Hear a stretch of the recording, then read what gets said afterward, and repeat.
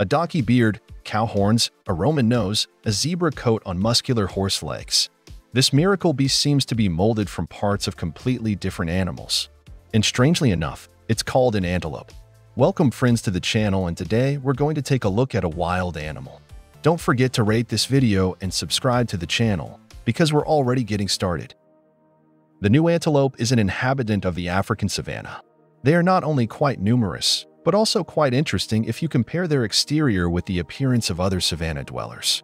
The exterior of these animals is quite unique, as the head and horns are comparable to the head and horns of a bull, and the mane is horse-like. The body is comparable to that of a cow, the beard resembles that of a mountain goat, and the tail is like that of a donkey. In fact, this animal represents a species of antelope. The gnu antelope is one of the most famous antelopes living on our planet. The locals of the African continent refer to the gnu antelope as the wild animal, and the word gnu is nothing but the sound these animals make. At least, that's what those who named this animal thought. Gnu antelopes are herbivorous ruminants, belonging to the pairs of ungulate mammals in the pronghorn family of fauna. The gnu antelope has close relatives in the form of the Topi and Kongoni antelope, which differ markedly in appearance. In nature, there are two species of gnu antelope, which differ in the type of color, blue-striped and white-tailed. The white-tailed gnu antelope is considered a rare animal and is found only in nature reserves. In the 19th century, gnu antelopes were hunted by both local tribes and colonizing Boers, who fed the meat of these animals to their workers. For 100 years, there was an active hunting of these antelopes, and only in 1870 people came to their senses, as there were just over half a thousand of them left alive in Africa. The second wave of Boer colonizers made every effort to preserve and increase the number of gnu antelopes. They began to form safe territories for the livelihood of these animals. As a result, the number of blue antelopes recovered, but the white-tailed species was not so lucky and can be found only in protected areas. The gnu antelope is an amazing animal in many ways. Firstly, its appearance is quite contradictory and those who have never seen this inhabitant of the African savanna may confuse it with other species of animals, and it is not surprising. Gnu antelope with its appearance resembles many animals, although some of the external signs are contradictory. Secondly, its behavior cannot be called stable, as the animal's behavior can change in the blink of an eye. Gnu antelopes are large animals, weighing up to two and a half hundred kilograms, with a height of almost one and a half meters. The physique is rather sturdy and the limbs are relatively long and thin, indicating the high endurance of these antelopes. Such a body structure creates the appearance of a disproportionately developed animal. Plus to all, it is the presence of a large bull's head, goat's beard, as well as sharp horns bent to the top creates the impression that nature created this animal from what was at hand or from what was left. It should be noted that the voice of the antelope, which sounds on the expanses of the savanna, can be classified as a kind of mooing. That is why the gnu antelope was identified in a special subfamily of cow antelopes. Interesting to know, horns grow not only in males but also in females, although they are different as the horns of males are thicker and more massive.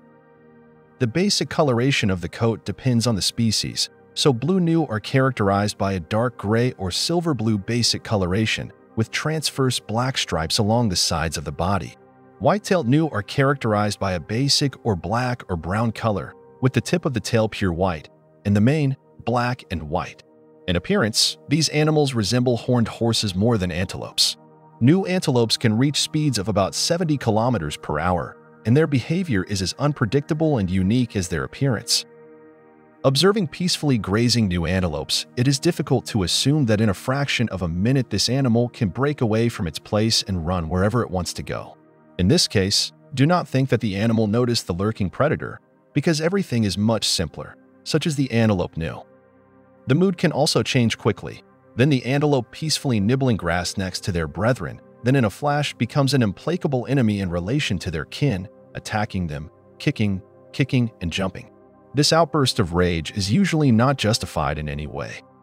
Gnu antelopes suffer from bouts of unmotivated aggression, which is why zoo staff are especially vigilant to avoid being hurt by an antelope rather than a buffalo, for example gnu antelopes prefer to form herds of half a thousand individuals.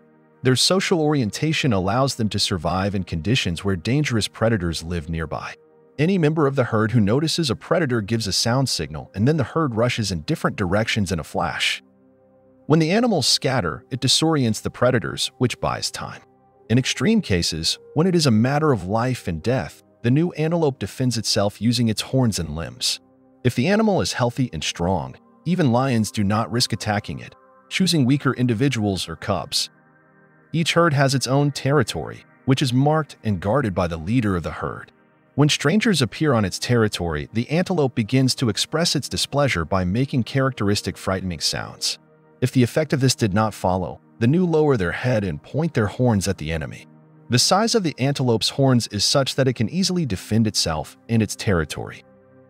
The constant migrations of these animals are related to the search for food, as they need young grass that grows during the rainy season or near various water bodies. Gnu antelopes always move in the same direction from south to north and back. The migration season begins in May and continues through the month of November. As a rule, it is the same route, with the same obstacles. In fact, this is their way of life, as only the healthy and strong survive, as well as those who are lucky. Often the animals die under the feet of their relatives, who rush across the savanna in numerous herds and at high speed. If there is enough fresh grass in one place for a herd, the herd will not look for other places for its vital activity. Gnu antelopes like to drink a lot of water, so they prefer to occupy an area near a waterhole. The main thing is that there should be no crocodiles in the water body. Due to these facts, it should be noted that gnu antelopes will inhabit where there is plenty of water and plenty of fresh succulent grass, as well as conditions for taking cool mud baths. This is one of the traits of the gnu antelope. If any object interests the antelope, it can approach it at close range, forgetting its fear of danger. Living in the wild, gnu antelopes do not live more than two decades. This is due to the many dangers that await the animal at every turn. When inhabited in captive conditions, it can live about five years longer. Gnu Antelope is an inhabitant of the African continent. To be more precise, it is its south and its east. The main population of gnu antelopes inhabits the expanses of Kenya, and somewhere a third of the population inhabits such countries as Namibia and others. These animals prefer territories covered with low grass and located near water bodies. Arid areas of the savanna territory are ignored by these animals. These giants are exclusively herbivorous animals whose diet consists of plant food. It should be noted that tall grass is ignored by these herbivores, so they prefer to feed on young succulent grass, the height of which does not exceed 10 centimeters.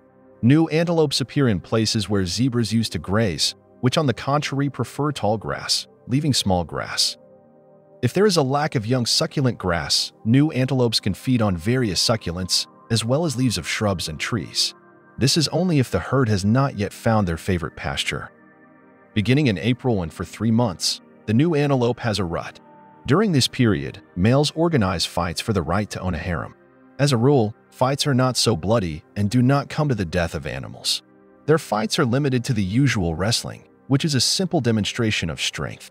The winner has the right to own a harem of half a dozen females, and the defeated is satisfied with what is left. Interesting point. If we take migratory and non-migratory groups, their composition differs.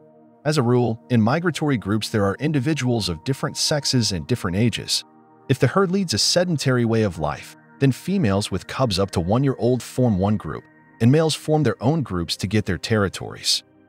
A female gnu carries her offspring for eight months, so the offspring are born in January slash February. During this period, the rainy season begins, so food is plentiful, after being born, the cubs are on their feet within half an hour and keep up with their mother. Gnu cubs grow as fast as the grass after the rain. Mostly one calf is born, although there are cases when a couple of calves are born. The mother feeds the calves with her milk for eight months. Despite this, the offspring start to pinch grass from an early age. After the mother stops feeding her milk to the calf, she nurses and cares for her offspring for another nine months. The calf does not become sexually mature until it is four years old.